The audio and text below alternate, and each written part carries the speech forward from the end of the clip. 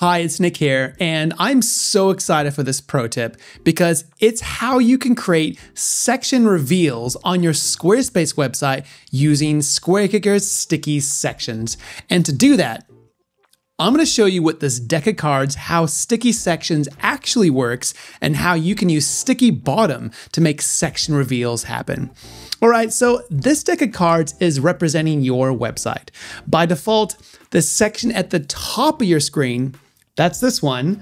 That's always going to be on the bottom of the deck of cards. And the section, of course, at the very bottom, that's going to be this one here in the front.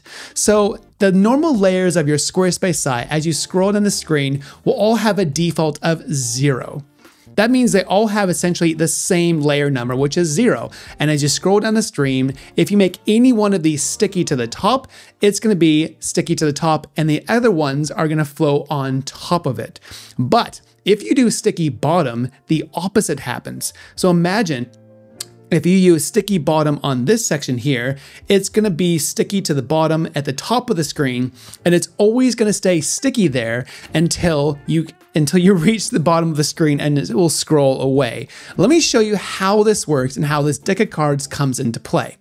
All right, so on this website, I can scroll down the screen and you can see that all my sections here are just normal by default. And at the very, very bottom, I get to the screen, I have a footer drawer reveal.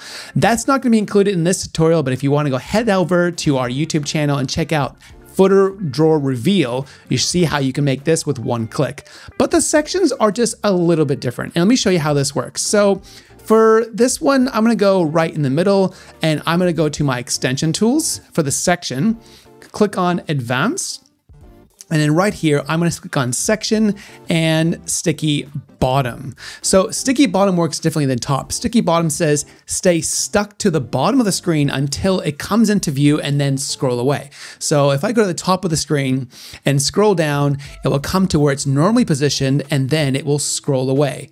But wait, where did my first section go? It was just there a minute ago. How come I can't see it? And that's because that second section is actually on top of the first section.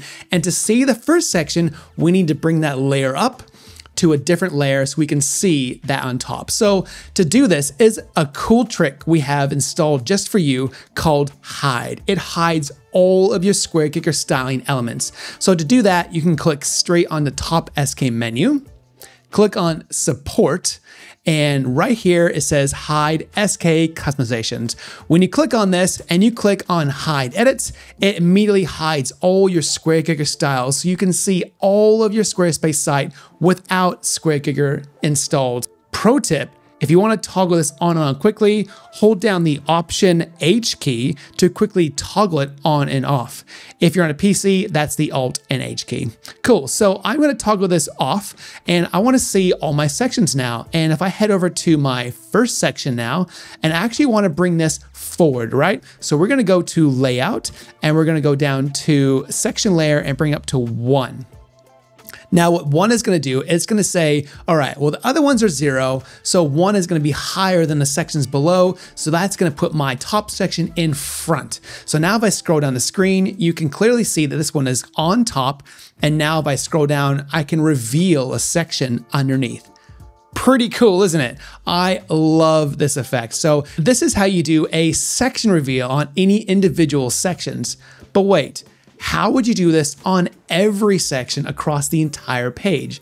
I'm gonna show you just how to do that now. So First, I'm going to click on section reveal for basically sticky bottom to all my sections. So advanced, sticky section, sticky bottom, and I'm gonna leave that to zero. That means the bottom of the screen is gonna stay sticky. And if I scroll down the page, I can see the next one here. So that's already sticky bottom. And finally, I get to the last one and do sticky bottom zero. Cool.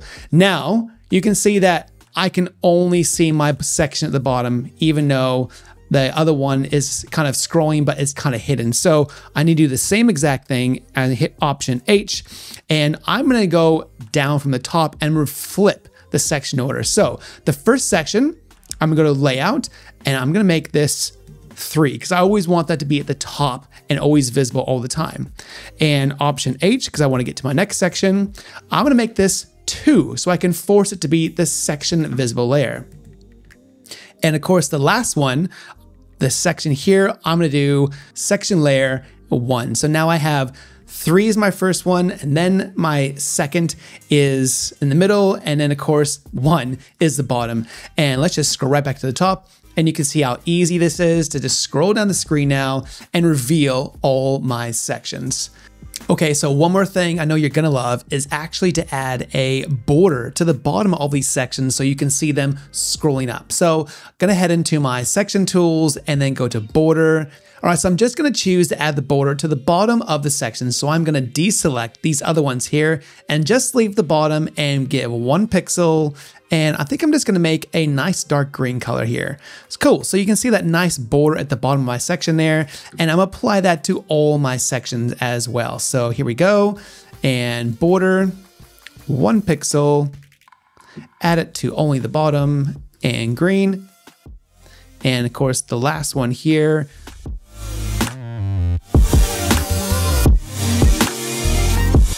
and green.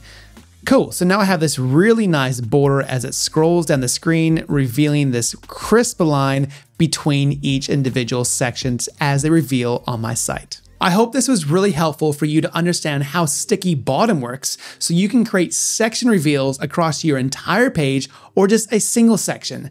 Don't forget, sections are just like a deck of cards. The top section is actually on the bottom and the bottom section is actually on the top. So if you want those sticky sections to pop in front, use the section layer tool to instigate that pop up.